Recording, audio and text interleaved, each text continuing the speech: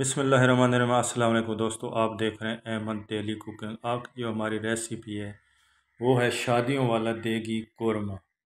मेरे स्टाइल में बनाएँगे, ज़रूर मज़ा आएगा। चलो शुरू करते हैं। सबसे पहले मैंने वन के जी चिकन ले लिया, अच्छे से वाश कर लिया है। वाश करके एक पाव में इसमें फ्रेश दही डाल दिया है।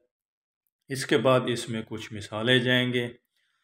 मैंने आधा पैकेट कौरमा लिया है, सुरख मिर्च ली है, हल्दी ली है, नमक लिया है। ये चीज़ें डाल के इसको अच्छी सी मेरीनेशन करके एक घंटे के लिए आपने छोड़ देना है। एक चम्मच लहसुन अदरक का चला गया। एक घंटे बाद आपने एल लें, घी लें, जो भी लें, मेरे पास प्याज हैं। तकरीबन आधा किलो मैंने प्याज ले लिए हैं। इनको आपने बिरौन करना है, प्याज को बिरौन करके, जैसे बिरौन प्याज होते हैं, इसको आपने निकाल देना है। ठीक है? देख सकते हैं हमारा प्याज जो है वो अच्छे से बिरौन हो चुका है।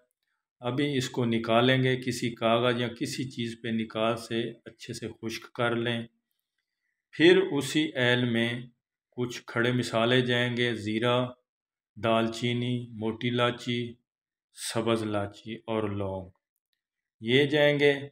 उसके बाद जो हमने मैरिनेट रख, चिकन रखा था, वो डाल देंगे। अभी आपने इसको अच्छे से भूनना है। जब, देख सकते मैंने जग में डाल दिया है। चिकन भी हमारा भून चुका है, घी छोड़ चुका है।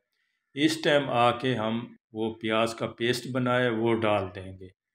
फिर इसको अच्छे से हल करेंगे। एक चीज़ का ख्याल, जब भी प्याज गलंडर किया करें या कूटा करें, बारीक नहीं करना, फिर वो दानेदार कौरमा नहीं बनता। ठीक है? इसके बाद अगर आपके पास केवड़ा है तो वो दो कतरे डाल दें, शादियों वाले केवड़ा ज़रूर डालते हैं। मेरा जो चिकन कौरमा है ना, शादियों वाला देगी, वो तैयार है, उम्मीद करता हूँ आपको कौरमा पसंद आया होगा, मुझे दें इजाज़त।